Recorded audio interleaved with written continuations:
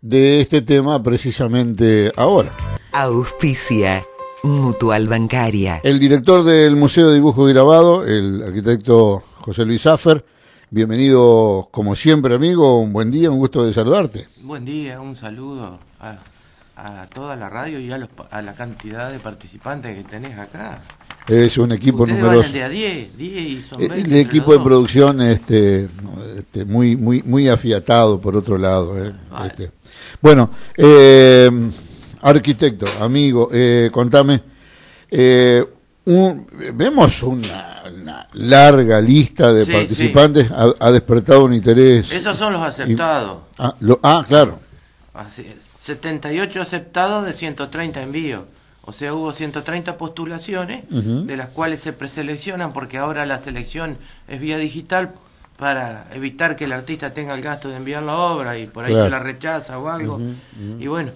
y cómo era- cómo se hace la selección Y mandan la imagen, mandan la información, mandan imágenes en buenos formatos, o sea, se, eh, con muchos K las imágenes, cuando se abren se ve bastante el detalle. se ve el detalle Y por lo general ya conocemos a todos los artistas, toda su impronta, así que sabemos qué es lo que este qué es lo que se está enviando, te mandan los datos del tamaño de la obra, de todo, así que bueno, eh, es mejor porque es una forma de- con los con los costos como se han ido por las nubes por ahí de transporte, este es una forma que, que casi todos los museos del país han adoptado, ¿viste? Porque Claro. si no no se podría trabajar. No, bueno, pero eso me parece que amplía el, el radio de acción de, Sí. de cualquier concurso porque uno le facilita al, al artista aún anotarse a último momento. Sí, sí, porque además este, hay de todas las provincias, tenemos de Santiago del Estero, de Corrientes, de Santa Fe, de Córdoba, de Mendoza, de La Pampa, de San Luis, de todos lados han enviado. Así- Eh, los salones tienen motivos principales, temática o es no, no, no, totalmente libre la temática. eh, a veces las, la- las temáticas están más ideologizadas que otras veces, eso se ve cuando se cuelga el salón, vos te das cuenta. Este, Claro, pero- o hay pero ciertos artistas, o hay ciertos artistas que son más politizados que otros.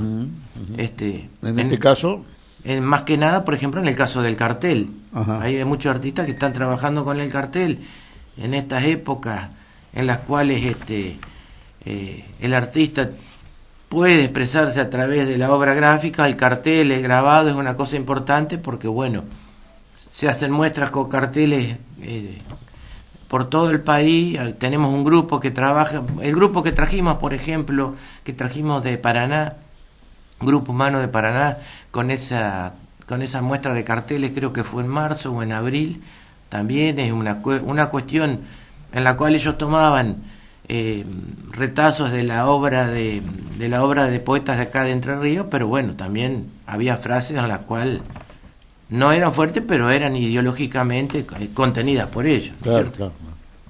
Bueno, contame de, de este año que ha resultado. Bueno, como te decía, reci- se recibieron 130 postulaciones, de las cuales se aceptaron 78. Se podían haber aceptado algunas más, pero ya era imposible colgar la obra en el museo por Claro. el espacio físico que tenemos. Así que bueno, el jurado determinó los cuatro premios de adquisición, seis menciones del jurado y los aceptados. El primer premio correspondió a Claudio Dagnia, de Avellaneda, Buenos Aires. El título de la obra se llama El año del gato, es un agua fuerte, un agua tinta, una monocopia del 2019. El segundo premio, Qué alegoría, ¿no? ¿eh?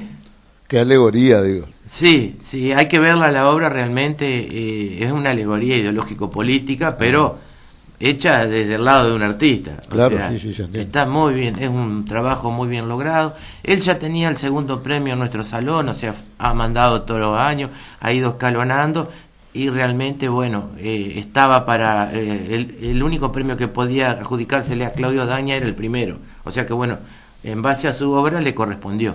Claro. El segundo premio, Lidia Sato de Ramos Mejía, Buenos Aires. No será en vano, también un agua fuerte, un agua tinta, una mesotinta y un gofrado, un trabajo bastante complejo, difícil de realizar, pero que está impecablemente realizado por Lidia, así que bueno, le correspondió el segundo premio. El tercer premio, Silvana Blasval, con su, de, de Cava, de Ciudad de Buenos Aires, más más recorridos, una litografía y calcografía de gran formato. El cuarto premio para Dominique Lecoq de la ciudad de Mendoza, Te fuiste sin, una silografía sobre papel y sobre PVC. Así que esos son los premios de adquisición. Silografía sobre papel. Sobre papel, eh, sobre papel la parte de atrás y sobre un PVC transparente está hecha la otra silografía que está so- montada sobre la otra. Es una caja donde están esas dos silografías separadas como en transparencia la primera sobre el fondo de la otra. Es decir, que cambia la perspectiva de acuerdo a Sí, donde la mirás. exactamente, es bastante, es muy interesante el trabajo. Y bueno, aceptados eran, como te dije, un montón, son en total 78, ahí vos tenés la lista, eh, realmente eh, este 20 salones es uno de los salones con más calidad que hemos tenido. Eh, y bueno, festejando los 30 años del, del museo, realmente tenemos un salón acorde a dicho festejo.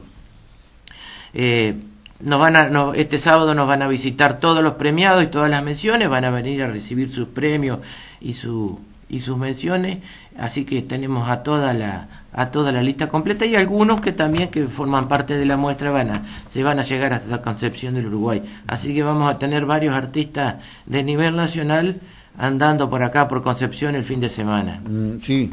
Eh, eh, pregunto, digamos, para, para ilustración propia y de la audiencia, eh, ¿en qué significan los, los premios? El premio de adquisición se entiende Sí, que se le compra la obra al... Premios en dinero que pone la provincia para el patrimonio del museo. O sea, son, son premios, son cuatro premios en, en dinero. en dinero. Entonces las menciones son solamente menciones, son diplomas honoríficos. Claro. Y, y la el mención es autor como que la la obra estuvo ahí también juzgada, estuvo, podía haber sido partícipe de un premio, también una mención. Es difícil cuando vos tenés, llegás a las 10 últimas obras, que son las mejores del salón, determinar cuáles son los premios. Bueno, ¿y cómo, ¿y cómo se cuelga, digamos?